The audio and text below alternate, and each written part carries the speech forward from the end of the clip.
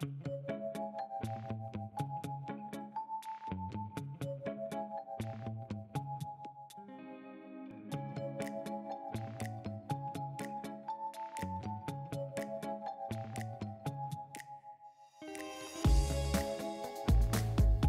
New tonight, Supreme Court Justice Clarence Thomas addressed the High Court's draft on abortion that was leaked at an event in Dallas last night. He said the leak changed the nation's highest court.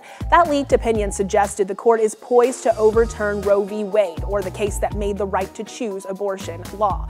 Last night at the Old Parkland Conference in Dallas, Justice Thomas said this is a quote, unthinkable breach of trust this is Clarence Thomas Associate Justice of the United States Supreme Court due to his position the person he is married to their shared political views the fact that the Supreme Court has no oversight they rule themselves and they are appointed for life.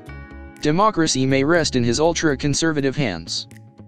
Justice Thomas is the longest tenured judge on the United States Supreme Court but he does not hold the title Chief Justice. That honor belongs to Chief Justice John Roberts another longtime conservative justice. The problem is the other ultra-conservatives that form the majority of the Supreme Court. Thomas seems to be the voice behind the these are raccoons commonly called coonscoon is also a derogatory term used to describe black people that continually support conservative white opinions of the opinions of their fellow blacks even when it is obvious that the white opinions will affect the well-being of the majority of black people Uncle Ricky opposes the use of the term coon for Thomas it is disrespectful to the raccoons.